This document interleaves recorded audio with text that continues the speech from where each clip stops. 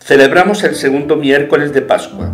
Dice Casiano Floristán que durante los siete domingos de Pascua la liturgia celebra el mensaje pascual de la resurrección del Señor, la alegría de la Iglesia por la renacida esperanza, la vida nueva de los neófitos y la acción del Espíritu Santo en la comunidad cristiana.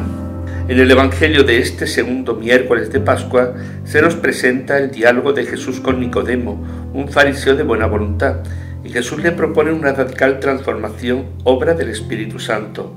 Esa radical transformación la ofrece el Hijo que conoce al Padre que ha sido enviado como señal de amor. La razón de todo esto es el amor de Dios por la humanidad. Subraya el texto hasta dónde ha llegado ese amor. Dios no se ha reservado para sí a su Hijo único, sino que le ha dado para que todo ser humano tenga vida plenitud. Dios no quiere que los hombres perezcan, es decir, que acaben en la muerte, porque en Él no hay nada negativo. Pidamos especialmente en este día la venida del Espíritu Santo sobre nosotros, para que nos ayude a crecer en la fe, en la esperanza y la caridad.